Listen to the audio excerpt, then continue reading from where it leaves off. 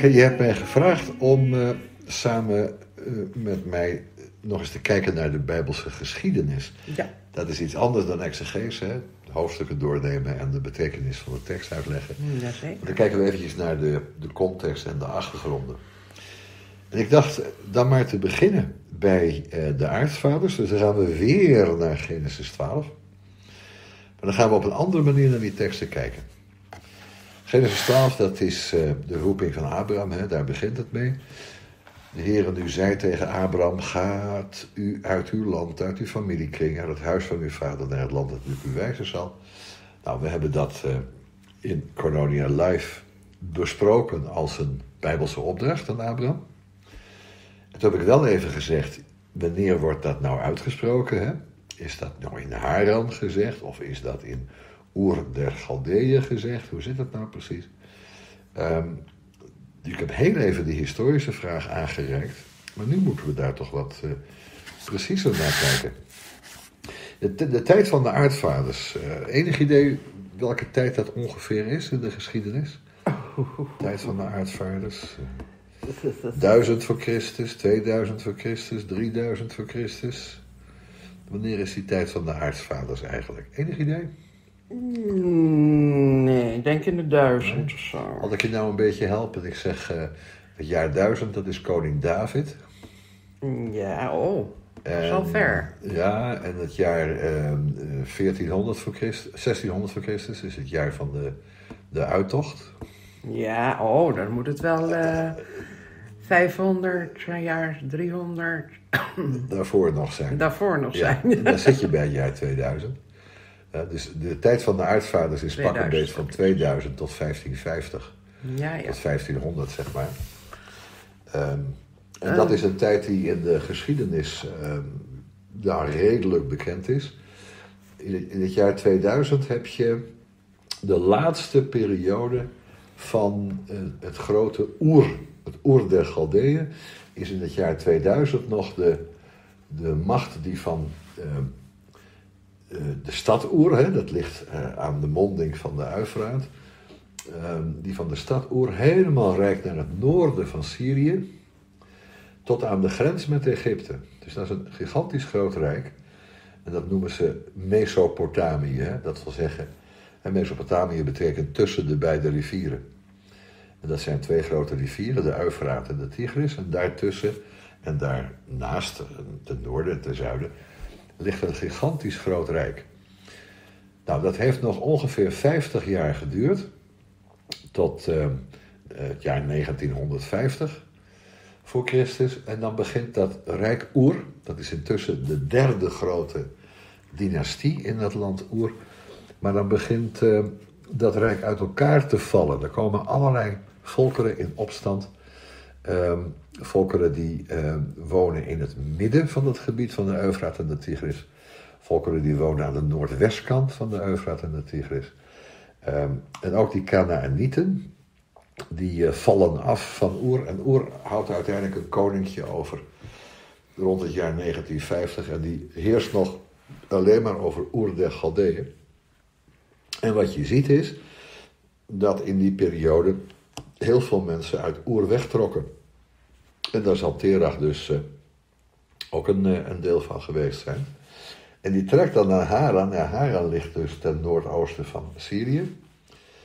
Um, vlakbij een andere plaats, heet Padan Aram, waar dat Laban woont daar later. Ja, Laban, de, de neef, zeg maar, van, uh, van Abraham. Um, ja, en dat zijn allemaal verwante volkeren, en allemaal semi-nomadisch. En semi-nomadisch wil zeggen uh, dat ze met ezels rondtrokken en zolang als het ging op één plaats woonden, daar hadden ze hun, uh, hun weidegronden. En als die weidegronden een beetje uitgeput raakten, uh, of ze kregen de kriebels, dan gingen ze naar een andere plaats en dan sloegen ze ook weer hun tenten op en dan woonden daar. Maar dat zijn semi-nomaden, want de echte nomaden, die vertrekken elke dag weer. Dus ze slaan één dag hun tent op, twee dagen en dan gaan ze weer weg. Maar Abraham kon in een bepaalde plaats uh, wel een jaar blijven of, uh, of langer. Semi-nomaden die hebben ezels en de nomaden van de latere tijd, die wij kennen uit de Arabische geschiedenis, die hadden allemaal kamelen. Maar kamelen waren in het jaar 2000 en uh, honderden jaren later waren nog niet uh, tam gemaakt. De tamme kamelen krijg je veel later pas in de geschiedenis. Tamme ezels ken je, kennen we wel in die tijd. En uh, nou, Abraham is dus op die manier vooruit Oer gegaan. Ook in de omgeving van Oer waar ze gewoond hebben, zullen ze dus semi-nomades zijn geweest. En Terach trekt dan naar Palestina, naar Canaan. Dus hij gaat door al die verschillende volkeren heen die nu eh, een beetje zelfstandig zijn, hè, door het midden van Eufraat en Tigris. En dan het noordwesten, daar zitten de Arameërs. Uh, en nog wat dan meer naar het zuiden, dan komt hij in Canaan terecht. Dus als hij, eh, hier staat, gaat u uit uw land, nou dan is dat dus dat beperkte brok van Oer wat nog over is gebleven. Want als dit het grote oer was geweest voor het jaar 2000, ja, dan had hij er niet uit kunnen trekken. Had hij naar China moeten gaan. Dat land waar Abraham zit, dat is dat gebied rondom die stad Oer. Uit uw familiekring, dat wil zeggen dat hij die ruimere eh, kring van mensen moet verlaten, die allemaal verwant aan hem zijn, in de buurt van Oer nog steeds wonen. En dan tenslotte uiteraard uit het huis van uw vader. En uh, daar gaat Terach dus naar Haran uiteindelijk. En Abraham moet hem daar dus uh, verlaten. Daaruit moet hij weggaan. Nou, dat Haran waar, eh, waar ze beland zijn, ja. dat was een hele belangrijke karavaanplaats, een, een, handelsplaats, waar de karavaanroutes ook doorheen gingen. Die gingen van het noorden uh, van Syrië, zo van uh, Tibet, China, Rusland, daaruit vandaan Turkije kwamen ze langs die karavaanroute in de richting van Egypte en Noord-Afrika. Ja, even een vraagje.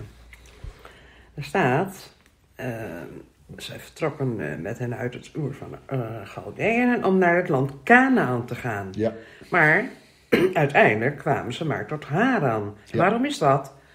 En ze kwamen tot Haran. Dus met andere woorden, het is er niet gelukt. Op een of andere reden zijn ze daar blijven wonen. Want ze kwamen tot Haran. Zulke duidelijke grenzen zijn er ook niet geweest. Je zou kunnen denken, Haran hoort er wel bij, want het ligt niet zo ver van het echte Canaan vandaan.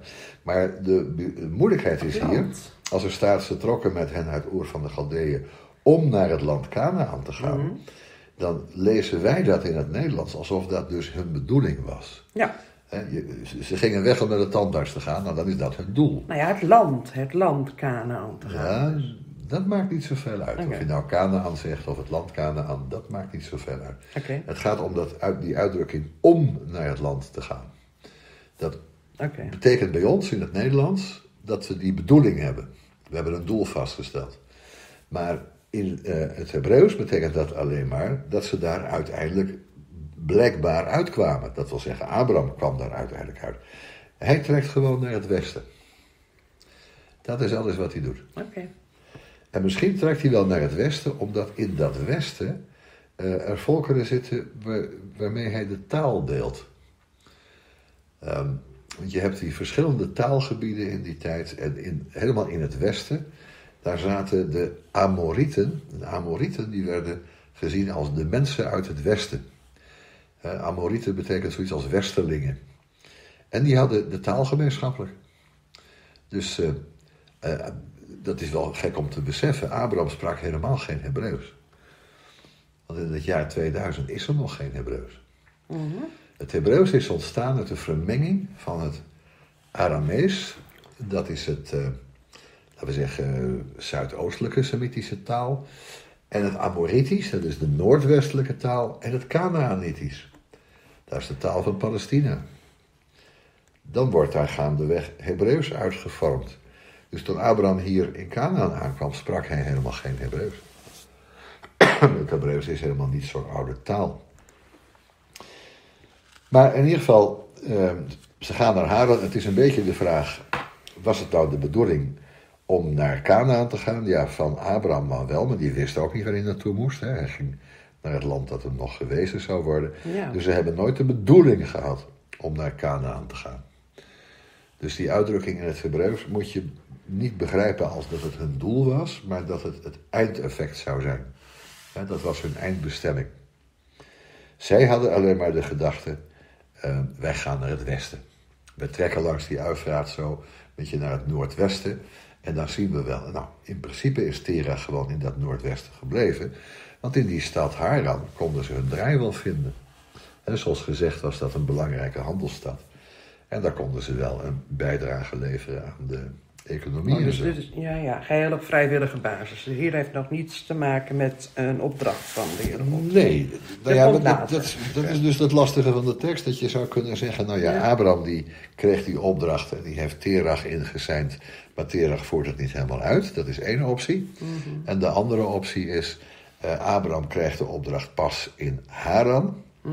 En dan staat er terecht, ga, gaat u uit uw land. Maar dat land is dan ja, in geestelijke zin het oer der Galdeeën waar ze vandaan kwamen.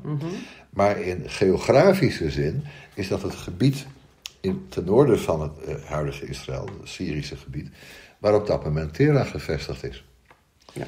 Dus ja.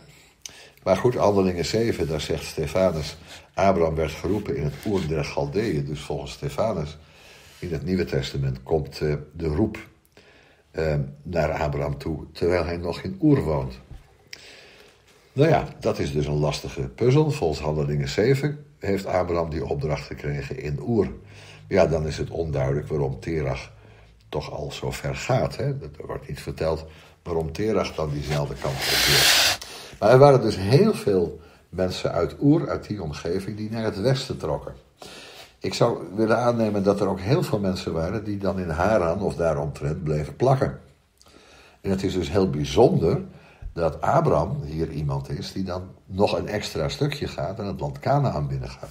Maar er waren natuurlijk geen landsgrenzen, er waren geen douaneposten. Het land was zo groot en er waren zo weinig mensen. Er was zoveel bos en groen akkerland dat je eindeloos kon rondzwerven zonder dat je andere mensen tegenkwam of andere mensen tot last was. Het zijn alleen de steden die een hele sterke organisatie hebben. Maar op het platteland kun je je eigen gang gaan. Je hebt je kudde, je bent helemaal self-sufficient. Je kunt je eigen eh, voedselvoorzieningen regelen. Dus het is helemaal niet zo gek dat ze die tocht gemaakt hebben langs de, eh, de. En ze zijn natuurlijk geen douane tegengekomen. Ja, ze konden overal vrij doorheen lopen. Nou, dit is dan toch het begin van de geschiedenis van Israël. Want Abraham is de stamvader van het volk Israël. En eh, nou ja, Terach is dus de grote vader van, dat, van hen allen. Die krijgt drie zoons: Haran, Nahor en Abraham. En we kennen ook een stad Haran en we kennen een stad Nachor. Haran staat ook in de Bijbel, Nachor niet. Maar Nahor is de vader van, ehm, de grootvader van Laban. En Laban is een belangrijke figuur, want dat is weer de vader van Lea en Rachel. Dus, ehm, en Lea en Rachel zijn vrouwen van Jacob. Dus die, die lijnen zijn wel heel belangrijk. Ehm, Haran eh, krijgt dus Lot. En uit Lot komt voort die verwante volkeren van Israël, Moab en Ammon. Dus Haran is de grootvader van Moab en Ammon. En Moab en Ammon blijven in de buurt van Canaan wonen. Hè. De Ammonieten en de Moabieten leven daar eh, in de buurt van Canaan. Nahor, de tweede zoon van Terach, eh, is de vader van Betuel, de grootvader van Laban. En bij Laban gaat Jacob zijn, eh, zijn dochters eh, huwen. Lea en Rachel huwt Jacob. Ja, en Abraham is natuurlijk de vader van Hagar. Of Abraham, beter gezegd, is verbonden met Hagar en Sarah. Krijgt van Hagar de zoon Ismaël. Dat zijn alle Arabieren. Krijgt van ehm, Sarah de zoon Isaac. En Isaac is weer de vader van Jacob en Esau. Jacob de vader van Israël. En Esau weer de vader van de Edomieten. Dus zo zit dat allemaal in elkaar. Die drie zoons van Terach, die worden eh, heel belangrijk. Althans, hun nakomelingen worden heel belangrijk. Voor de geschiedenissen van Isaac en Jacob. Ja, dus nog even heel kort. Drie zoons voor Terach. Haran, Nachor, Abraham. Haran en Nachor, die stichten ook een stad, of die wonen in een stad. Haran sterft daar, hè.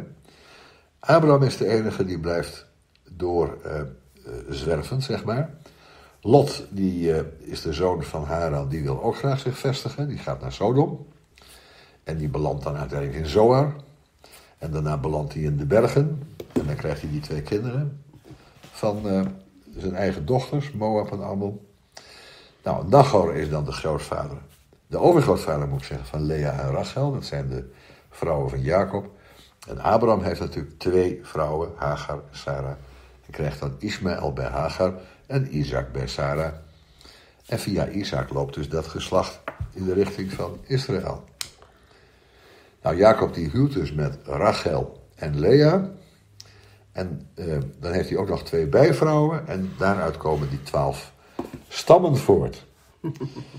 Dat is eh, zo'n beetje de geslachtsboom van, uh, van Abraham. En dan praten we dus over één, twee, drie, vier generaties.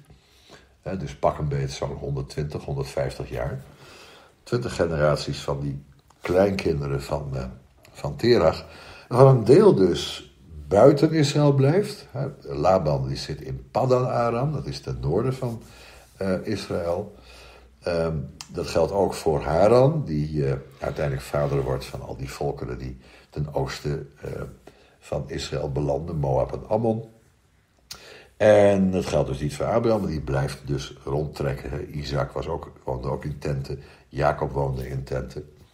Nou, en die twaalf zoons van Jacob, ja, die belanden in Egypte. Die belanden in Egypte. Jozef. Uh, dat is hun nakomelingen belanden in Egypte. Hè? Die uh, trekken daar naartoe, blijven daar en worden daar zwaar onderdrukt. Nou, zo zie je dat Gods hand in die geschiedenis dus selecteert. Hè? Hij selecteert het nageslacht van Shem. Hij selecteert het nageslacht van Terach. Hij selecteert het nageslacht van Abraham. En dan vervolgens ook daarin selecteert hij uh, de twaalf zonen van Jacob uiteindelijk om de stamvaders te zijn van zijn eigen volk. Zo werkt dat. Het gaat steeds om die ene die Gods belofte kan, uh, kan doorgeven. Nou ja, in de wereldlijke geschiedenis daaromheen blijkt het allemaal perfect te kloppen wat Genesis ons vertelt. En men heeft wel eens gedacht een tijd lang dat uh, het boek Genesis niet correct de geschiedenis weergaf, dat het niet klopte. Maar uh, het blijkt dus door allerlei fondsen heel nauwkeurig te zijn wat hier staat. Het klopt ook met wat daar uh, uit de geschiedenis van, van bekend is. Er waren geen grote koningen in Canaan in die tijd.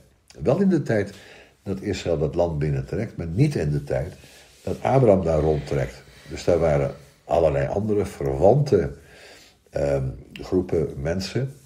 Verwant omdat ze allemaal tot die grote familie horen van de Arameërs. Uh, Abraham is een Arameer, dus een westerling. Uh, Amorieten zijn westerlingen, Arameërs zijn westerlingen. Um, en degenen die in Canaan belanden, die hebben daar Canaanitische volkeren ook gekend. En daar zijn ze mee vermengd geraakt. En dan krijg je die Canaanitische bevolking, die dus deels Aramees, deels Canaanitisch is, waar ook Egyptische invloeden zitten. Uh, Amorieten, die hebben dat. Dus het is een enorme melting pot, hè, zoals dat heet als de Verenigde Staten waren. Allerlei nationaliteiten door elkaar heen. Maar ze spraken allemaal West-Semitisch. Een West-Semitisch dialect. En uit het West-Semitische dialect komt dus het Aramees voort en het Hebreeuws uiteindelijk. Okay. Uh, zo werkt dat dan. Nou, en die plaats waar ze zaten, die had voortdurend te maken met uh, ja, wisselingen in Egypte. In Egypte was er soms een dynastie van meerdere generaties die aan de macht was. Nou ja, dat werd dan een keer uh, verslagen of de farao werd vermoord en dan kwam er iemand anders in zijn plaats. kwam er een nieuwe dynastie. Egypte is al eens helemaal heel klein geweest. En Egypte heeft ook wel eens enorme invloed in die wereld gehad. Maar hetzelfde geldt dus ook voor wat er van Oer overbleef. Want na verloop van tijd zijn er volkeren die eerst dus deel uitmaakten van dat grote wereldrijk van Oer, maar die worden zelfstandig. En die gaan hun eigen steden bouwen. Zoals Babel. Zoals Assur. Assyrië. Uh, dat zijn nieuwe naties die ontstaan uit, dat, uit de restanten, zeg maar, van dat Oer. En dat Oer is ooit een hele grote staat geweest. Er komen die kleine natieën daaruit voort. Ja, en die hebben ook de neiging om zich af en toe heel groot te maken. De stad Assur wordt op een goed moment dat wereldrijk Assyrië. En die stad Babel wordt op een goed moment dat wereldrijk Babylonië. Maar zo was het ook met de Meden en zo krijg je later de Persen. Eh, dus in dat grote gebied van Mesopotamië, tussen die Eufraat en de Tigris, heb je meerdere volken gehad die op een bepaald moment de baas waren. Nou, hier in de tijd van Abraham heb je een heel sterk Egypte, maar veel minder sterk dan eh, in, in latere tijden. Het valt het best wel mee. Het houdt een beetje op zo bij de grens met Canaan. En je hebt een redelijk sterk Assyrië, je hebt een redelijk sterk Amoritisch Rijk. Het is eigenlijk een periode dat die drie of vier grote rijken elkaar aardig in evenwicht houden. Hè. Er wordt weinig verteld over eh, oorlogen. Er kon een oorlog komen met die koningen van het noorden, dat weet je. Hè. Dat hebben we gelezen in, uh, wat was het, Genesis uh, eh, 14. Die, die, oorlog die er dan is met, tussen de koningen van, van Canaan met de koningen van Syrië. Um, het was een koning in Bela, het was een koning in Zeboyim, een koning in Adama. Nou, al die verschillende stadstaatjes krijg je dan langzamerhand. En uh, daar waren dus prinsen of koningen aan de macht.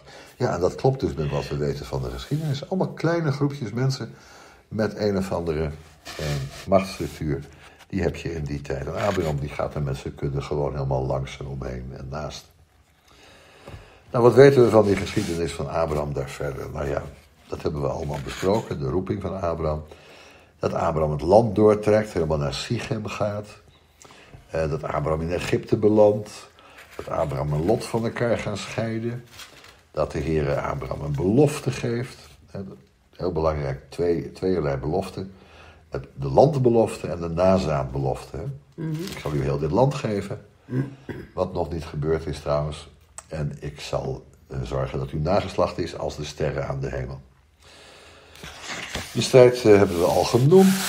Um, we hebben vandaag besproken in Cornolia Live de besnijdenis en de bevestiging van het verbond met Abraham. En die belofte wordt vernieuwd door twee engelen. Dan krijgen we Sodom, de Sodom-passage. Daar zullen we later nog over spreken, Genesis 19. De geboorte van Isaac. En wat komt er uiteindelijk dan? Uh, in de geschiedenis met Abraham. Uh, dan heet hij intussen Abraham. Ja, dan heb je de offeranden van Isaac. Een hele belangrijke uh, onderdeel van die geschiedenis. Genesis 22. Dat God dus opdracht geeft om Isaac te offeren. Dat is het dieptepunt of het hoogtepunt van de geschiedenis van Abraham. En vlak daarna sterft Sarah. Dat is ook heel typerend. Die uh, halfnomaden, zoals Abraham dan ook was, die hadden geen land in bezit. Hè? Die weidegronden waren open voor iedereen. En als er te veel mensen waren, dan trok je verder naar een volgend weideland. En het kwam maar een enkele keer voor dat het land te klein was om twee grote groepen nomaden te kunnen verzorgen. En dat zien we bij Abraham en Lot. Hè? Dat land is te uh, klein om ons allebei te dragen. En dus we moeten uit elkaar. En eh, Lot, jij mag kiezen. Dat hebben we allemaal besproken. Het enige bezit dat Abraham gehad heeft aan land, dat is het graf wat hij koopt in Hebron. In Genesis 23 vinden we dat. Dus vlak na de beproeving van Abraham met Isaac sterft Sarah. En Abraham begraaft haar dan in Hebron. En er is een soort van, van grot daar in dat rotsachtige land. De spelonk van Mag, Magpela koopt hij dan. Dat is het enige stukje wat eh, hij in bezit heeft gekregen voor een gigantisch hoog bedrag. 400 sikkels zilver. Nou, ik dacht dat een sikkel bijna een pond was. Dus het, uh, we praten over 200 kilo zilver. Dat is een gigantisch bedrag. Maar goed, Abraham koopt het. Het is dan van hem. En ehm, hij heeft dan op die manier Sarah het graf geschonken. De enige plaats die dan al van hem is. Die heeft hij moeten kopen. Terwijl God had gezegd dat hij dat hele land aan Abraham zou geven. Sarah is dus gestorven, Genesis 23. Maar dan wil Abraham natuurlijk dat Isaac ehm, een vrouw krijgt. Maar die vrouw mag niet komen uit die Canaanitische volkeren waar Abraham nu tussen woont.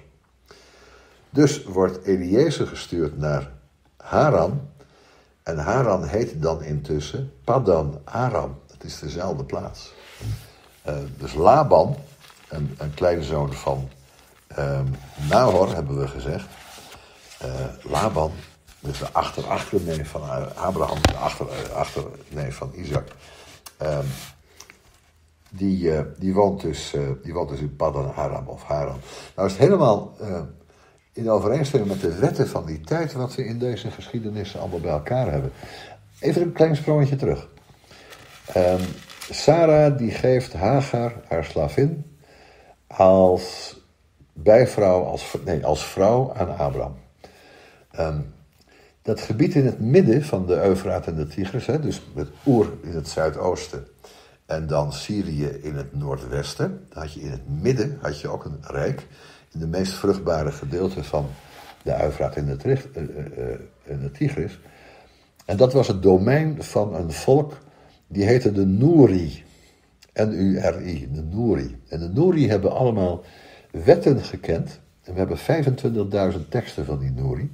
Ze weten dat heel precies. Die hebben wetten gekend voor wat er zou moeten gebeuren als een man trouwt met een vrouw. En de bedoeling was één vrouw. Als een man trouwt met een vrouw en die vrouw kan hem geen kinderen geven. Blijkt dat die vrouw onvruchtbaar is of uh, alle kinderen sterven bij hun uh, geboorte al dan is die vrouw na verloop van tijd verplicht om aan die man een andere vrouw voor te stellen als vervanger van haar. Niet als vervanger van haar als vrouw, maar als vervanger van haar als moeder. En het idee was dat het kind van die vrouw, die tweede vrouw, dat dat de erfgename zou zijn.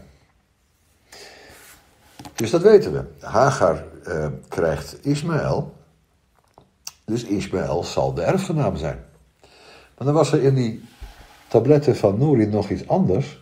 Stel nou, een uh, vrouw die geen kinderen kan krijgen, of denkt dat ze geen kinderen kan krijgen, geeft een vrouw aan haar man. Helemaal volgens de wet. Die man verwekt bij die tweede vrouw een kind. Dat is dan de erfgenaam. Maar even later verwekt hij bij zijn eigen vrouw, bij vrouw nummer 1, een kind. Dat vervalt dat. Dan heb je een jong, juist. Maar kun jij je dan de boosheid van Ismaël voorstellen? Dus dat toch nog 13 jaar later, dan is die jongen 13 jaar, dan wordt plotseling uh, alsnog aan Sarah een kind geboren. En die jongen heeft 13 jaar lang rondgelopen met dat idee: ik ben de erfgenaam. Ja. Misschien wel ook behandeld als de erfgenaam. En plotseling moet hij wijken, plotseling moet hij vrolijk wezen, want hij heeft een jonge broertje gekregen en die heeft zijn plaats ingenomen. Nou is hij niks meer. Dat moet best vervelend zijn geweest voor een jongetje van ja, Even slikken, hè? Nou ja, even slikken. Hè. Hij, uh, hij gaat er over uh, razen en tieren. Ja, ja. Uh, Isaac dan bespotten. Maar dat is helemaal conform de wetgeving in, in Nouri. En dat is niet de wetgeving van de Heere God. Ja. daar hebben we een ander, hebben we het leviraathuwelijk, dat werkt een beetje anders. daar hebben we de regel dus, als een man een vrouw huwt en die man overlijdt en de vrouw is kinderloos, dat dan de plicht is op de jongere ongetrouwde broer van die man om de weduwe te huwen, zodat er alsnog een nageslacht komt. Dat valt ook onder die Nurische wetten. Nee, dat valt dus niet onder die Nurische wetten. Dat is dus echt iets wat pas uh, op de Sinaï door God zelf uh, aan zijn volk is gegeven. Oh. Dat houdt namelijk in ieder geval het monogame huwelijk in stand. Want het is dus niet zo dat daar toestemming wordt gegeven. Hè, die man overlijdt, dat die vrouw dan een andere man huwt zomaar. Want dan is die naam van de eerste man is verdwenen. Ja. Uh, en het is ook niet zo dat die weduwe dan maar geacht wordt weduwe te blijven, kinderloos te sterven. Nee, de bedoeling is dat de naam van de eerste man wordt voortgezet en dat die vrouw een verwante van haar eerste man als tweede echtgenoot krijgt. Dus. Maar ze draagt niet zijn naam dus. Twee, van de tweede. De eerste naam blijft. De eerste naam blijft, ja. ja. Dus laten we zeggen, Abraham trouwt met Sarah. Abraham overlijdt. Nou, dan gaat Sarah trouwen met uh, Laban. Dat is, uh, neem maar aan, dat is een broertje van Abraham. Maar dat kind wat hij krijgt, heet dan bijvoorbeeld, ehm, die heet Isaac Abrahamszoon. En niet Isaac Labanszoon. Want Abraham, die naam moet worden doorgegeven. Zo ongeveer werkt dat. Ja, ja. Dus dat verklaart die situatie met Ismaël. Maar nou, Jacob. Jacob die gaat naar Laban toe en die moet daar werken voor zijn bruid. Hè? Dus die moet een aantal jaren werken en aan het eind van die periode, van zeven jaar, krijgt hij zijn bruidpas. Nou, hij wordt verliefd op Rachel. Hij werkt zeven jaren voor Laban en na zeven jaren zal hij Rachel krijgen. Hij stapt zijn tent in, hij heeft geslachtsgemeenschap met die vrouw die hij in zijn tent aantreft. De volgende morgen wordt het licht en zie, het is niet Rachel, het is Lea. Want Laban die dacht, ik ga die oudere zuster, die oudere dochter, eerst uithuwelijken, want die komt niet meer aan de man. Dus ik geef haar aan Jacob, dan moet hij maar tevreden mee zijn. Jacob tastte dus naast, hij krijgt zijn Rachel niet. En dan zei uh, Laban tegen hem, nou je kunt van mij Rachel krijgen, maar dan wil ik dat je je verplicht om nog zeven jaar voor mij te werken. En dan krijgt hij ook Rachel, dat wordt onmiddellijk ook zijn bruid. Dat hebben sommigen niet begrepen, maar dat is zo. Uh, maar hij heeft dan de verplichting om zeven jaar te werken. En na die zeven jaar doet Laban allerlei pogingen om zijn dochters toch bij zich te houden. Want die vindt het idee niet zo fijn dat hij niet met Jacob mee terug zullen gaan naar Canaan. Hij heeft ze liever in Haran of Padan Heeft de eerste vrouw meer rechten dan de tweede vrouw? Nee. Die vrouwen zijn aan elkaar gelijk. Maar ja, elk van die vrouwen heeft dus net als Sarah... Uh, heeft een uh, dienstmeisje, hè, een, persoonlijke assistente, een, een, een halfvrije vrouw. Eliezer heeft die functie voor Abraham, Hagar heeft die functie voor Sarah. Maar uh, Lea en Rachel hebben ook zo'n hulpje. De ene heeft Bilha en de andere heet Zilpa. En wat is nou de gewoonte geworden intussen? Uh, misschien hebben ze, met name bij Rachel, hebben ze even moeten wachten op het krijgen van kinderen. Uh, Lea die is heel vruchtbaar, die krijgt er geloof ik een stuk of acht. Dan ik even moeten kijken hoe dat ook alweer uh, in elkaar zit. Ik ga eens even tellen. Ik ga eens even tellen. Ik had hier een mooi lijstje hier staan. Um, dus hoe zit het nou? Lea, Ruben, Simeon, Levi, Juda, Issachar, Zebulon. Dat zijn de zes zonen die zij krijgt. En dan komt nog één meisje, meisje Dina. En Rachel, die heeft veel langer moeten wachten totdat ze een kind krijgt. Maar die krijgt dus Jozef en Benjamin. Die krijgt er maar twee. Veel mooiere naam ook. Ja, en ja, Benjamin heeft een bijzondere positie. En van Jozef weten we ook dat hij een bijzondere positie heeft, want de twee zonen van Jozef worden twee stammen in Israël. Jozef krijgt twee zoons, Ephraim en Manasse. Manasse is de eerstgeborene, Ephraim is de tweede. En als Jacob de zegen geeft over de kinderen van Jozef, dan maakt hij van Ephraim de eerstgeborene. Hij draait die verhouding om. Dan krijg je dit heel klein bestek, de strijd van Jacob en Esau. Wie is nou de eerstgeborene? Nou, volgens de zegen die, Jozef, Jacob uitspreekt, is de oudste zoon van Jozef de tweede in rang. Eh, en de jongste zoon van Jozef, Ephraim, is de eerste in de rang. Dat gebeurt er met de kinderen van Jozef. Nou, dan heb je de dienstmaagd van Lea, dat is Bilha, die krijgt Dan en Naphtali. En dan heb je de dienstmaagd van Rachel, dat is Zilpa, die krijgt Gad en Asser. Dus daar zijn we intussen al bij de tien stammen terechtgekomen. En dan krijgen we nog van Jozef en Benjamin, dat zijn er twaalf. En Jozef valt er in twee uiteen. Hé, hey, zou je dan zeggen, dan zouden er toch dertien stammen moeten zijn. Nee, dat is niet waar. Er zijn maar twaalf stammen, maar Levi wordt niet meegeteld in het rijtje, want Levi heeft geen landsdeel. Levi heeft geen deel van het land. Levi moet wonen in de buurt van Benjamin en daar zijn functie vervullen. Dus er zijn maar twaalf stammen die het land verdelen onderling. Maar Ephraim en Manasse krijgen dus een deel daarvan. Ehm, en Benjamin krijgt een deel daarvan. En dat is samen twaalf, twaalf stammen die het land verdelen. Omdat Levi geen landsdeel krijgt. Levi is namelijk het priestergeslacht. En de priesters hebben geen uh, landsdeel. Maar dan zie je dus uh, hoe dat dan werkte, ook volgens die uh, oude, oude wetten. Ehm, dat dat helemaal klopt met wat we in die Nouri-teksten vinden. Als een man een vrouw wil verwerven, dan kan ehm, de aanstaande schoonvader zeggen: Ja, maar dan moet je drie jaar of vijf jaar of zeven jaar voor mij werken. En dat is dan de betaling, zeg maar, Ja, ja. voor de vrouw die je krijgt. Ja, En eh, Jacob heeft dus tweemaal die bruidschap betaald. Hij heeft 14 jaar eh, bij Laban gezeten. Hè. Zeven jaar. Tot hij Lea kreeg. Dan gaat hij natuurlijk eh, protesteren. Dan krijgt hij meteen ook Rachel op grond van de belofte dat hij nog zeven jaar zal werken voor Laban. Maar Laban is een verwante. Hè. Hij trouwt hier met een nicht. Een achternicht. Want de bedoeling is toch dat je alleen maar trouwt in je eigen ruimere familie. Nou, er is geen familie van ehm, eh, eh, Abraham verder in het land. Die familie is overal daarbuiten gebleven. Ze zijn niet verder gekomen dan Haran.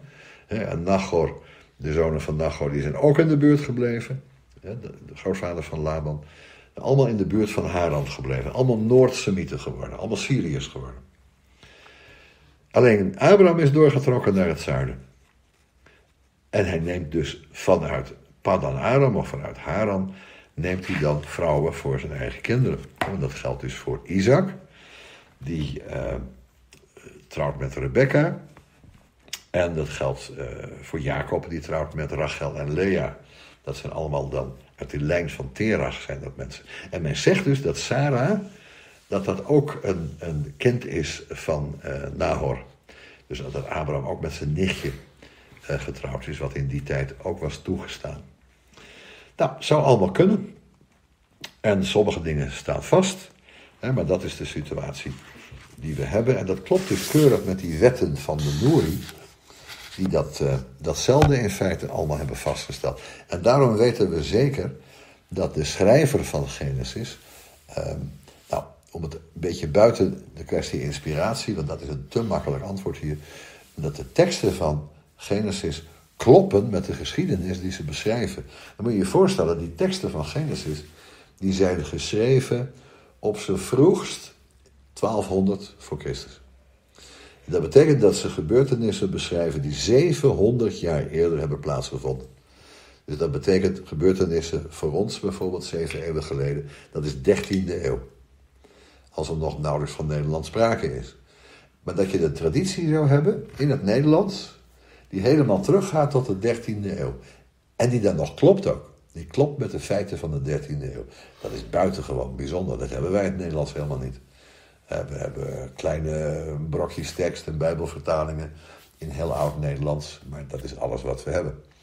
Maar de schrijver van Genesis, die wist dat allemaal nog. Die moet daarover tradities beschikt hebben, over papier uh, beschikt hebben. Uh, waar hij gebruik van heeft gemaakt. Perkamentrollen toch? En papieren? Nee, ik denk kleitabletten. Dat was gebruikelijk, hè? Dat je, je schreef op kleitabletten. Zoveel? Papyrus was een Egyptische uitvinding van veel later. Oh ja. En kleitabletten, dat was goedkoop om te maken. Die kon je bakken en dan kon je het niet meer uitwissen. Maar dat is toch zwaar? En dan zoveel tekst. Dan moeten Ja. ze honderdduizenden kilo zijn. Ja, in totaal wel, ja. Maar zo werd het doorgegeven. En dat schrift was natuurlijk heel erg slim gemaakt. Eh, want je hoefde geen klinkers op te schrijven. Je kon uit, eh, afkortingen gebruiken. Dus je kon op hele kleine eh, stenen al heel erg veel vertellen. Ah, ja. En het is niet onmogelijk dat er ook, laten we zeggen, daarnaast ook nog papyrus gebruikt werd, waar dat toegankelijk was. Of dat men zelfs dierenvellen gebruikte. Maar de overwegende vorm waarin men dat gedaan in kleintabletten. Ja, de bibliotheek ehm, van het eiland Cyprus. Daar was een hele grote bibliotheek in kleitabletten. Dat is ook een. Cyprus Oh. is een gigantisch gewicht geweest. Mhm. En de bibliotheek van Egypte was vele malen lichter. En beide bibliotheken, die op Cyprus en die in Alexandrië, hebben een brand meegemaakt. Nou, die op Cyprus, daar is niks verloren gegaan, want die klei werd alleen maar nog een keer gebakken. Wauw. Maar die op, in Alexandrië die is totaal verloren gegaan, want daar was alles opgeslagen als papyrus. Oh. En dat brandde als een fakkel. Ja. Dus Alexandrië, die bibliotheek, ging verloren. ja. En eh, Cyprus en andere bibliotheken in kleitabletten zijn, eh, zijn bewaard gebleven. En zo vinden we ze ook vaak als een stad vernietigd werd. Dan vind je, eh, als je gaat afgraven, vind je nog allemaal kleitabletten. En dan zijn die tekens nog helemaal leesbaar. Is dat nog te bezichtigen in Cyprus? Jazeker. Ach, ik ben er drie keer geweest. Je bent daar Toen niet was geweest. ik nog niet in het geloof. Nee, ik ben ook op Patmos geweest. Ja, maar toen- je zou aan je geloof weinig Ach. hebben gehad, want dat zijn natuurlijk alleen maar... Nee, maar seculiere- gaat je interesse, dan ga je dat ook eh uit. Maar eh, door die hele gebied van Mesopotamië heen, elk paleis had een hofschrijver. En die had weer assistenten en die had een bibliotheek. Want het meeste van wat er op kleitabletten werd geschreven waren bijvoorbeeld contracten. Nou, als een contract nou helemaal eh, gedaan was, ging je dat toch niet meer bewaren, dat gooide je weg. Maar wetten werden ook op klei beschreven. Nou, dat wilde je bewaren. Dus de hoeveelheid kleitabletten die men bewaarde was veel geringer dan wat er allemaal op zo'n Dus als tablet iemand geschreven een werd. contract eh, had gedaan, Ja. Er was er geen bewijs meer van, want de kleitabletten werden weggedaan, zeg je. Nee, pas als het contract niet meer geldig was of als een van beiden overleden was. Als jij een contract hebt met iemand en die andere overlijdt, is het contract niet meer geldig. Nou, dan kun je het weggooien. Ja, Als je een testament maakt, dan ga je het uitvoeren, dat testament. Als het testament eenmaal uitgevoerd is, kun je het weggooien. Dan heb je het niet meer nodig. Dus het is niet zo dat alles wat geschreven werd, werd bewaard. Er werd natuurlijk een selectie gemaakt. Dit moeten we wel bewaren en dit kunnen we weggooien. ja, ja. Na zoveel tijd, ja. Ja, precies. Nou. Maar ik wil maar even zeggen hoe nauwkeurig eigenlijk ook de schrijver van Genesis is. Ja. Dat hij in overeenstemming met de gewoonte van die tijd allerlei dingen heeft beschreven. Zoals bijvoorbeeld ook het verkopen van een stuk land.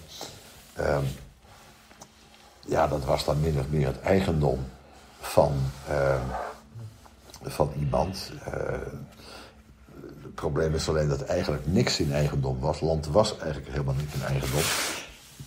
Maar iemand kon als het ware iets in bezit nemen en verklaren van dit hoort bij mij en zo. Zo'n spelonk was natuurlijk een prachtige plek eh, voor opslag, misschien voor een grafplaats. Dus Abraham moest daar eh, fors eh, voor betalen. Nou, wat is er nog meer te zeggen over alles wat we van Abraham dan weten? Ehm, nou, huwelijk van Isaac, dat gaat dus ook heel apart. Hè. Hij stuurt een knecht, Eliezer, naar Haran toe. Nergens anders. Hij wil iemand uit die grotere familie vinden als bruid voor, eh, voor Isaac. En Eliezer komt dan terug met Rebecca. En dat is een achter-achternicht van Abraham. Het is de kleindochter namelijk van de broer van Abraham, Nachor. En zij trouwt met Isaac. Dus daar is toch een soort van vermenging van die families weer eh, eh, geweest. Abraham is te moe en te oud om die reis zelf te maken. En daarom stuurt hij die knecht Eliezer. Met die Eliezer is dat is weer een derde element van die Nouri-teksten. Ook heel erg mooi. Abraham die zegt daar tegen God eh, in Genesis 15. En God zegt, ik ben uw schild, uw loon is zeer groot. En dan zegt Abraham, ja, maar wat zal mijn loon dan zijn, gezien dat ik kinderloos sterven zal en de Damascener Eliezer dan mijn erfgenaam zal worden. Nou, hoe kan hij nou zeggen, die Damascener Eliezer wordt mijn erfgenaam? Nou, heel simpel, omdat Abraham niet in staat is om dat zelf te bepalen. Hij kan geen testament maken en zeggen, ik wijs hem of haar aan als mijn erfgenaam. Maar de regel is, eh, iemand die in, eh, geadopteerd is, en Abraham heeft dus Eliezer geadopteerd, en dan die functie vervult van overste van het huis, die wordt automatisch de erfgenaam. Als de oudste geadopteerde zoon. Als een, echtpaar kinderloos is, dan is de oudste geadopteerde automatisch de echte erfgenaam. Dus dat klopt helemaal met die wetten die in die tijd in heel Mesopotamië werden onderhouden. Dus ook bij die Nouri, waar we de teksten dan van hebben, waar de kleitabletten van hebben. Eh, wat Abraham daar zegt is voorkomen juist. Naar het recht van die tijd zou Eliezer dus de erfgenaam van Abraham worden. Naar het recht van die tijd zou trouwens ook Ismaël de erfgenaam geworden zijn. Maar het recht van die tijd zegt ook, als de eerste vrouw later alsnog een zoon krijgt, dan gaat die voor, wordt hij de echte erfgenaam. Is dus gebeurd bij Isaac en Ismaël. Nou, en dan eh, nog weer later, je ziet het bij Jacob dus ook. De erfgenaam van Jacob, wie is dat? Nou, vraag maar af, wie is de oudste zoon van Jacob? De eerstgeborene. Moet je altijd dat rijtje even onthouden van Exodus 1. Hè? Ruben, Simeon, Levi, Juda, Issachar, Zebulon, Benjamin. Dan Naphtali, Gad en Aser. Jozef was ook in het land. Dat is dat, dat liedje. Nou, Ruben, Simeon, Levi, Juda, Issachar, Zebulon, Benjamin. Dat zijn alle kinderen van, Ru, van, uh, van Rachel. Dus in dat rijtje van Exodus 1, wat ik nu net gezongen heb, ja. zitten alle kinderen van Rachel aan het begin.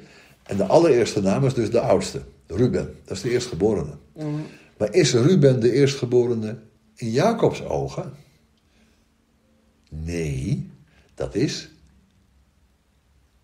Jozef. Jozef is de ware erfgenaam van Jacob. Ja? Ja. Dus dan is het ook weer niet de oudste. Het is niet de oudste bij Kain en Abel. Het is Seth uiteindelijk. En Abel oorspronkelijk. Maar Kain niet. De oudste Kain is niet de ware erfgenaam. Blijkt uit zijn karakter. Jacob en Esau. Het is niet Esau. Het is Jacob. Ehm, nou, ga zo maar door. Steeds maar weer de, de eerstgeborene die de heilsgeschiedenis moet dragen, is lang niet altijd degene die dat ook daadwerkelijk doet. Dus de eerstgeborene blijkt dan steeds, het eerstgeboorterecht gaat dan steeds op een ander eh, over. En die andere is dus Seth in plaats van Kain, is Jacob in plaats van Esau, ehm, is ehm, Isaac in plaats van Ismaël. Ehm, wie hebben we nog meer? Is uh, Jozef in plaats van Ruben. Zo gaat het dus steeds. Opdat God dus zijn eigen eerstgeborene in Egypte brengt en uit Egypte haalt. Zo heeft God dus in afwijking van het recht van mensen, heeft hij steeds weer ehm, zijn eigen wil doorgezet. Nou, dat brengt ons uh, bij, uh, bij Isaac. En ik zou zeggen, daarover, over Isaac en Jacob, praten we dan de volgende keer. Dank voor het luisteren. Tot de volgende keer.